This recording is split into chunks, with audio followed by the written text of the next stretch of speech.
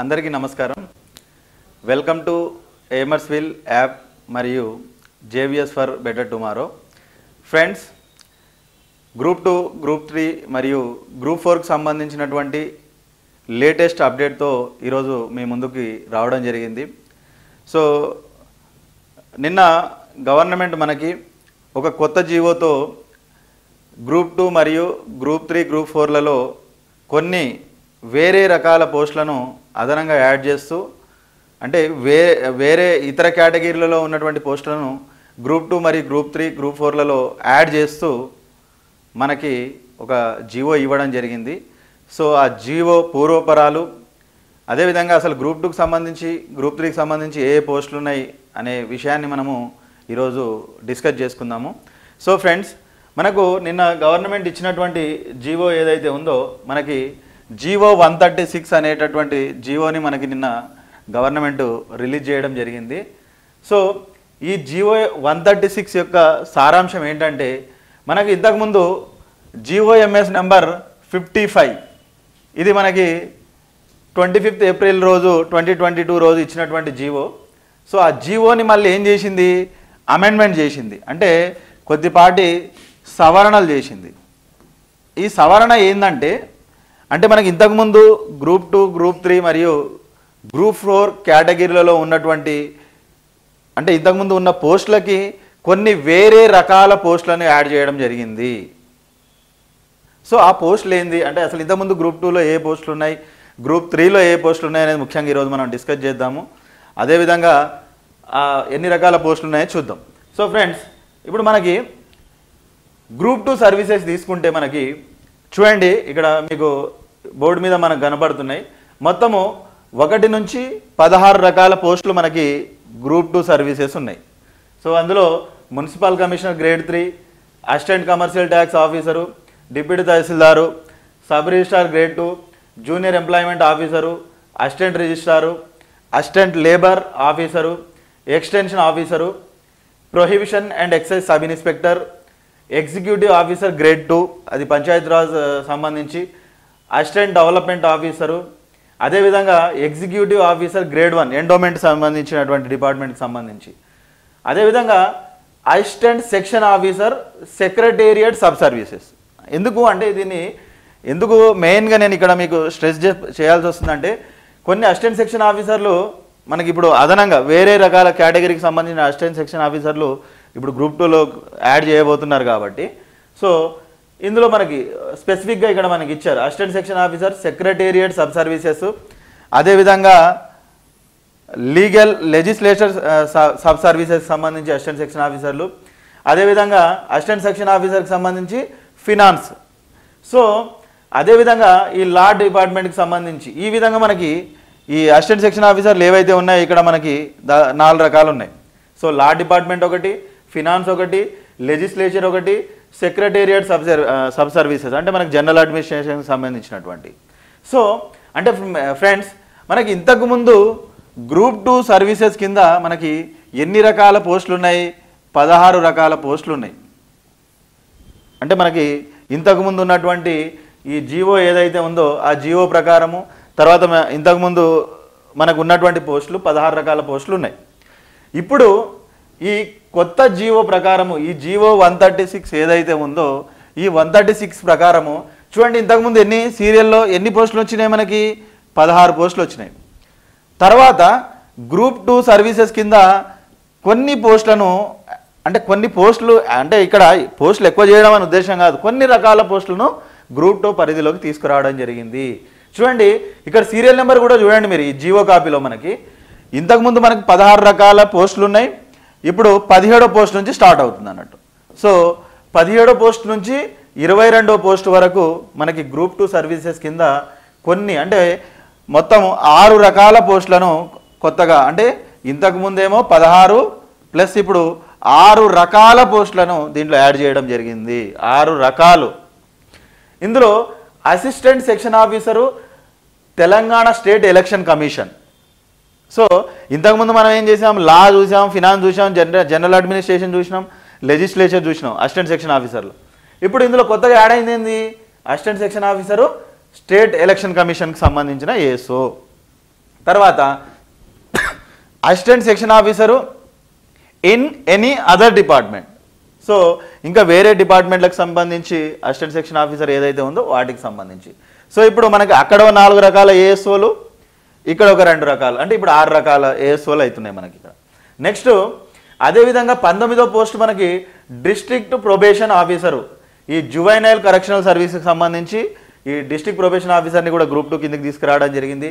దాంతోపాటు assistant BC welfare officer assistant tribal welfare officer assistant social welfare officer అనే ఉద్యోగాలను అంటే మొత్తం ఇంతకుముందు పదహారు ప్లస్ ఇప్పుడు ఉన్నటువంటి ఎక్స్ట్రాగా అదనంగా మనకి ఆరు పో ఆరు రకాల పోస్టులు. మొత్తం ఇప్పుడు మన గ్రూప్ టూలో ఇరవై రెండు రకాల పోస్టులు ఉన్నాయి. ఇంతకుముందు అంటే నాకు అవగాహన ఉండి ఇంతకుముందు ఈ అసిస్టెంట్ సోషల్ వెల్ఫేర్ ఆఫీసర్ కానీ ట్రైబల్ కానీ బీసీ వెల్ఫేర్లకి ప్రత్యేకంగా వేరే ఎగ్జామ్స్ ఉంటుండే. అంటే గ్రూప్ టూ సర్వీసెస్ కాకుండా ఒక వేరే అంటే అసిస్టెంట్ సోషల్ వెల్ఫేర్ ఎగ్జామ్ సపరేట్గా ఉంటుండే. సో ఆ పోస్టులను ఇప్పుడు గవర్నమెంట్ ఏం చేసిందంటే ఒకే పరీక్ష ద్వారా నియమించాలనే ఉద్దేశంతో మనకి ఈ ఆరు రకాల పోస్టులను కూడా ఈ జీవో వన్ థర్టీ సిక్స్ ద్వారా గ్రూప్ టూలోకి తీసుకురావడం జరిగింది. సో ఫ్రెండ్స్ ఇప్పుడు గ్రూప్ టూలో మనకి ఇంతకుముందు పదహారు రకాల పోస్టులతో పాటు ఇప్పుడు ఆరు రకాల పోస్టులు మనకి ఇందులో యాడ్ అయినాయి. సో ఇప్పుడు మొత్తము మనకి గ్రూప్ టూ సర్వీసెస్ మొత్తం మనకి పదహారు ప్లస్ ఆరు ఇరవై రెండు పోస్టులు ఇరవై రెండు రకాల పోస్టులు మనకి గ్రూప్ టూ కిందికి రా పరిధిలోకి వచ్చినాయి. అదేవిధంగా మీరు ఈ గ్రూప్ త్రీకి సంబంధించి తీసుకుంటే గ్రూప్ త్రీకి సంబంధించి తీసుకోండి. ఇప్పుడు నెక్స్ట్ గ్రూప్ టూకి సంబంధించి అయిపోయింది. ఇప్పుడు గ్రూప్ త్రీకి తీసుకుంటే ఈ గ్రూప్ త్రీలో మొత్తం మనకి ఎనిమిది రకాల పోస్టులు ఉన్నాయి. Senior accountant audit pay and accounts sub sub services ఇలా మనకి ఎనిమిది రకాల పోస్టులు ఉన్నాయి. సో ఇప్పుడు ఈ కొత్తగా వచ్చినటువంటి జీవోలో మనకి ఏం చేసిర్రు? అంటే ఇప్పుడు ఒకసారి మనకి ఇంతకుముందు గ్రూప్ త్రీ సర్వీస్కి సంబంధించి మనకి ఎన్ని రకాల పోస్టులు ఉన్నాయి ఎనిమిది రకాలు. ఇప్పుడు ఏం చేసిర్రు? తొమ్మిది నుంచి సీరియల్ నెంబర్ ఇచ్చారు చూడండి. మనకి జీవోలోనే క్లియర్గా మెన్షన్ చేసిర్రు మనకి. సో తొమ్మిదో రకమైనటువంటి కొత్త post account tribal welfare state services. అదేవిధంగా సీనియర్ అసిస్టెంట్ ఆర్ దానికి సమానమైనటువంటి accountant or junior assistant account or any other similar categories in HODs. అంటే శాఖాధిపతుల కార్యాలయాలు ఏవైతే ఉంటాయో హెడ్ ఆఫ్ ది డిపార్ట్మెంట్స్ ఏవైతే ఉన్నాయో అందులో ఉన్నటువంటి జూనియర్ అసిస్టెంట్లు కానీ అకౌంటెంట్లు కానీ సో ఇప్పుడు మనకి గ్రూప్ త్రీకి సంబంధించి మనకి రెండు పోస్టులు మనకి అంటే రెండు రకాల పోస్టులు అదనంగా యాడ్ అవుతున్నాయి. అంటే మనకి ఇంతకుముందు ఎనిమిది రకాలు ప్లస్ ఇప్పుడు మనకి రెండు రకాల పోస్టులు మనకి అదనంగా రకాలు ఇక్కడ పోస్టులు అదనంగా యాడ్ అయినాయి అన్నట్టు మనకి జీవో రాలేదు. ఆ పోస్టులు కొన్ని వేరే పోస్టులను కూడా దీని పరిధిలోకి తీసుకొచ్చిర్రు. సరే అవి పెరుగుతాయా పెరగవా అనేది మనకి ఇంకా క్లారిటీ లేదు. సో అది త్వరలో దాని మీద కూడా మనకి క్లారిటీ వస్తుంది. కాబట్టి అప్పుడు దాకా మనం వెయిట్ చేయాలి. సో ఇప్పుడు మనకి ఎనిమిది ప్లస్ రెండు మనకి గ్రూప్ త్రీ కేటగిరీలో మనకి పది పోస్టులు మనకి అదనంగా చేర్చడం జరిగింది. సో ఫ్రెండ్స్ ఈ విధంగా మనకి అదేవిధంగా మనకి ఈ జూనియర్ అసిస్టెంట్కి సంబంధించి కూడా కొన్ని పోస్టులను యాడ్ చేయడం జరిగింది. సో ఒకసారి జూనియర్ అసిస్టెంట్ అంటే గ్రూప్ ఫోర్కి సంబంధించి junior assistant or junior accountant any other equivalent similar categories in district officers or various dip ఇక్కడ జూనియర్ అసిస్టెంట్కి ఇక్కడ జూనియర్ అసిస్టెంట్కి తేడా ఉందండి. ఈ జూనియర్ అసిస్టెంట్ గ్రూప్ త్రీలో ఉన్నవి ఏవైతే ఉన్నాయో హెచ్ఓడిలో ఉన్నటువంటి అంటే శాఖాధిపతుల కార్యాలయాలు ఏవైతే ఉన్నాయో అక్కడ ఉన్నటువంటి జూనియర్ అసిస్టెంట్ దాని క్యాడర్ వేరు. అదేవిధంగా ఇక్కడ ఉన్నటువంటి జూనియర్ అసిస్టెంట్ వేరు. సో ఈ జిల్లా సంబంధించినట్టు ఆఫీసులు ఏవో కార్యాలయాలు ఏవైతే ఉన్నాయో అక్కడ ఉన్నటువంటి జీవ మనకి జూనియర్ అసిస్టెంట్లు సో ఇక్కడ మనకి ఈ పోస్టులను మనకి గ్రూప్ ఫోర్ సర్వీసెస్ కింద యాడ్ ఉంచిర్రు. ఏమేమి?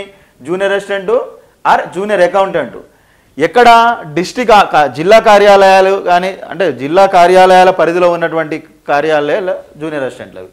నెక్స్ట్ అందులో ఇంకా వేరే పోస్టులు ఏమి యాడ్ ఏమున్నాయి మనకి?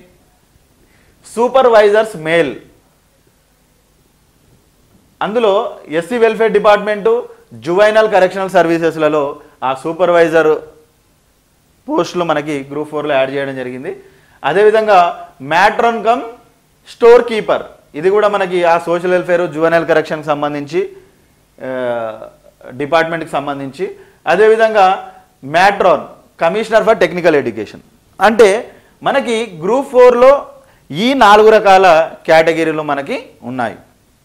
సో మీకు క్లారిటీ వచ్చింది అనుకుంటున్నా.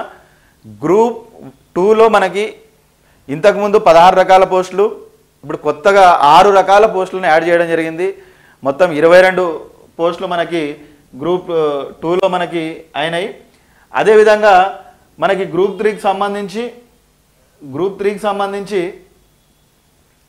మనకి ఇంతకుముందు ఉన్నటువంటి ఎనిమిది పోస్టులు ఏవైతే ఉన్నాయో ఆ ఎనిమిది పోస్టులకి అదనంగా మనకి రెండు పోస్టులను యాడ్ చేయడం జరిగింది. అంటే పది పోస్టులు మనకి గ్రూప్ త్రీలో ఉన్నాయి. గ్రూప్ టూలో ఇరవై రెండు పోస్టులు గ్రూప్ త్రీలో మనకి పది పోస్టులు మనకి. అదేవిధంగా గ్రూప్ ఫోర్ కింద మనకి మొత్తము నాలుగు రకాల పోస్టులు తీసుకురావడం జరిగింది. సో ఫ్రెండ్స్ దీన్ని మీరు దృష్టిలో పెట్టుకొని అంటే మనకి పోస్టులు పెరుగుతాయా పెరగా అనేది మనకి ఇంకా క్లారిటీ లేదు. ఈ జీవోకి పోస్టులు పెరగడానికి సంబంధం లేదు. కొన్ని రకాల పోస్టులని గ్రూప్ టూ గ్రూప్ త్రీ పరిధిలోకి చేరుస్తున్నాము. అంటే ఇంతకుముందు ఉన్న పోస్టులకి ఇంకా వేరే రకాల పోస్టులను యాడ్ చేయడం జరిగింది. కానీ పెరుగుతాయా పెరగదా అనేది మనకు క్లారిటీ లేదు. సరే పెరిగితే మంచిదే ఖచ్చితంగా మనం అది సంతోషించదగ్గ విషయమే. సో ఇంకో విషయం ఏంటంటే ముఖ్యంగా మనకి ప్రభుత్వం కూడా తొందరగా ఈ గ్రూప్ త్రీ గ్రూప్ ఫోర్ అదేవిధంగా గ్రూప్ టూ నోటిఫికేషన్లు ఇవ్వాలనేటటువంటి ఆలోచనతో ఉందని మనకి కొంత ఇన్ఫర్మేషన్ ఉంది. కాబట్టి నేను ఏమంటున్నా అంటే ఖచ్చితంగా నోటిఫికేషన్ ఎప్పుడు వస్తుందో అంటే చాలామంది మిత్రులు అంటే ఎవరు బిజీలో వాళ్ళు ఉన్నారు కొంతమంది ఎస్ఐ ప్రిపేర్ అయ్యే వాళ్ళు ఉన్నారు గ్రూప్ గ్రూప్ వన్ ఆల్రెడీ వచ్చింది. అది గ్రూప్ వన్ మెయిన్స్ ప్రిపేర్ అయ్యే వాళ్ళు ఉన్నారు సో ఇక్కడ మీకు నా వచ్చిన నష్టం ఏం లేదు. దాదాపుగా మీరు ఏ ఒక గ్రూప్ వన్ తప్ప అంటే గ్రూప్ వన్ ఒకటే మనకి ఆన్సర్ రైటింగ్ ప్రోగ్రామ్ అంటే మనకి డిస్క్రిప్టివ్ కాబట్టి అదొకటే మన ప్యాటర్న్కి డిఫరెంట్గా ఉంటుంది. మీరు గ్రూప్ త్రీ కావచ్చు గ్రూప్ ఫోర్ కావచ్చు గ్రూప్ టూ కావచ్చు అదేవిధంగా ఎస్ఐ కానిస్టేబుల్ ఏదైతే ఉందో అన్నిటికీ దాదాపుగా మనం ఒకే రకమైనటువంటి పుస్తకాలు చదువుతాం. అదేవిధంగా సిలబస్ కూడా దాదాపుగా అన్నిట్లో ఎంతో కొంత మ్యాచ్ అవుతుంది కాబట్టి సో ఈ ఎస్ఐ కానిస్టేబుల్ ప్రిపేర్ అయ్యే వాళ్ళే చాలామంది గ్రూప్ టూ రాసే వాళ్ళు ఉంటారు. అదేవిధంగా గ్రూప్ వన్ రాసే వాళ్ళు ఉంటారు. సో ఇక్కడ మనకి అంటే ప్రిపరేషన్ని మీరు కంటిన్యూ చేయండి. గ్రూప్ టూ ఎప్పుడు వస్తుంది ఎప్పుడు వస్తుంది అని చూసే బదులు మన ప్రిపరేషన్ ప్రిపరేషన్ స్ట్రాటజీని మంచిగా ఫాలో అయ్యి మన ప్రిపరేషన్ని అంటే మనము ఇంతకుముందు మనము సపోజ్ ఒక ఒక మీరు ఒక సబ్జెక్ట్ ఉంది. ఒక సబ్జెక్ట్లో మీరు నూట యాభై మార్కులకి ఒక ఎనభై తొంభై స్కోర్ చేయగలుగుతున్నారు. సో ఇంకొంచెం మీరు ఒక ఐదు మార్కులు రెండు మార్కులు పెంచే ప్రయత్నాన్ని మనం చేయాలి తప్ప ఈ నోటిఫికేషన్ ఎప్పుడు వస్తుంది? మనం వచ్చినాక మళ్ళీ టెన్షన్ మనమే పడతాం. ఎగ్జామ్ ఎప్పుడు ఉండొచ్చు? ఇంకొన్ని రోజులు పొడిగిస్తే బాగుండు. ఇంకొంచెం టైం ఇవ్వాలి సో ఇలాంటి ఆలోచనలు కూడా మనకే వస్తాయి. అంటే నోటిఫికేషన్ తొందర రావాలని మనమే ఇది చేస్తుంటాము. అదేవిధంగా నోటిఫికేషన్ వచ్చినాక టైం దొరకలేదని మనమే టెన్షన్ పడుతుంటాం కాబట్టి. సో దీన్ని మీరు అన్యదా తప్పుగా భావించకుండా అంటే నేను అనేది ఏంటంటే ఆల్రెడీ మనకు చేతిలో కొన్ని నోటిఫికేషన్లు ఉన్నాయి చాలామంది ప్రిపేర్ అవుతున్నారు. సో ఆ ప్రిపరేషన్ ఏదైతే ఉందో అది మీ గ్రూప్ టూ కూడా ఖచ్చితంగా చాలా వరకు ఉపయోగపడుతుంది. సో నోటిఫికేషన్ ఎప్పుడు వస్తుందా అని మీరు ఎదురు చూసే బదులు ఖచ్చితంగా నోటిఫికేషన్లు వస్తాయి. ఖచ్చితంగా డిసెంబర్ నా నా ఎక్స్పెక్టేషన్ ప్రకారము ఖచ్చితంగా డిసెంబర్ ఎండింగ్ వరకు నోటిఫికేషన్లు కంపల్సరీగా నోటిఫికేషన్లు ఉంటాయి.